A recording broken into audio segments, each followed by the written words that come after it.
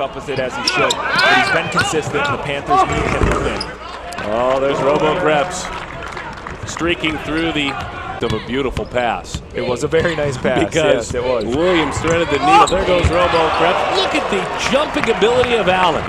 You're a senior and play for a couple of different coaches. Jimmy Collins and then Moore. Excellent job to the line. Hill. I'm Happy he's playing so well, and I'm sure he's enjoying it. Myers comes out defensively on Singh. Too easy, though, on the follow for Sean King, the young man, the freshman out of Guild. Got to get something up quickly. Kaylon, stutter step, launches it. Got it! Kaylon Williams takes his team into the locker room with a little bit of mo. At 6'8 and, and being a lefty who's athletic, very difficult to guard. Tony Meyer again. Club, by the way, that has lost just once in Horizon League play. Boyle ends up with the basketball, streaking the other way and converting. Again. Ajami.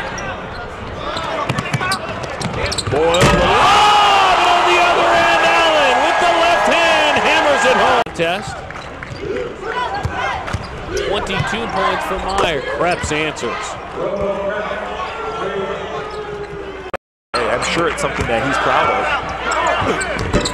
Hill back in the ball game with the miss. Allen with the follow.